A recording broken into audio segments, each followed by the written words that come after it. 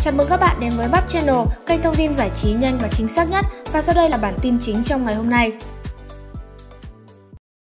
Hòa Minzy hé lộ ra xấu xí, nổi đầy mụn khi quay sao nhập ngũ, Đức Phúc vào nói câu gì mà chiếm spotlight. Sau khi Hòa Minzy chia tay bạn trai thiếu gia và tham gia sao nhập ngũ, Đức Phúc tiếp tục thể hiện sự quan tâm dành cho người chị thân thiết.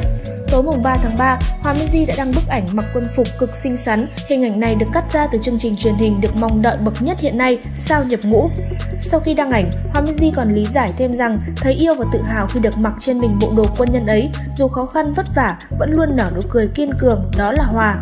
Bên dưới phần bình luận ảnh, Hòa Minh Di nói, mà hôm nào quay mụn đầy mặt nên không có sinh được vậy thôi mọi người ơi. Nhưng vì quyết tâm thực hiện nhiệm vụ nên đôi khi cũng không để tâm lắm đến mặt mũi.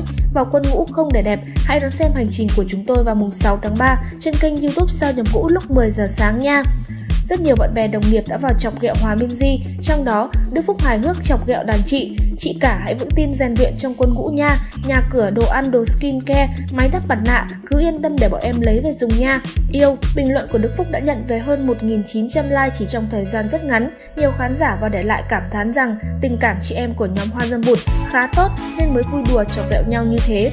Khác hoàn toàn với các mùa sao nhập ngũ trước đây khi chỉ có 4 đến 6 nghệ sĩ tham gia trải nghiệm, sao nhập ngũ 2022 quy tụ 8 nghệ sĩ trong nhiều lĩnh vực, người mẫu Minh Tú, ca sĩ Anh Tú, ca sĩ Hòa Minh Di, ca sĩ Kara, ca sĩ ST Sơn Thạch, diễn viên Puka, diễn viên Duy Khánh và streamer Độ Missy.